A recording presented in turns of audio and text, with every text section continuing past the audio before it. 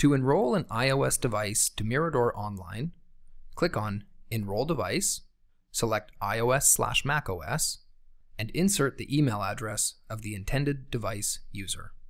In this instance, we want to do the enrollment by SMS. Select Send Enrollment Invitation and wait for the device to receive an SMS.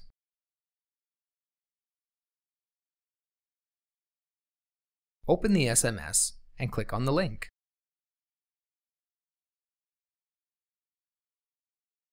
Select Allow and click on Close.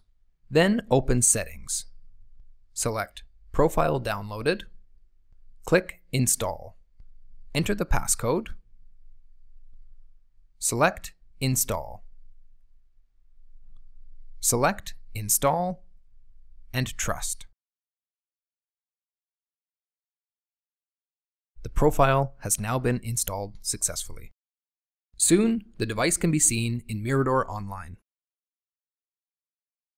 Click on Show Device, and you'll be directed to the device view.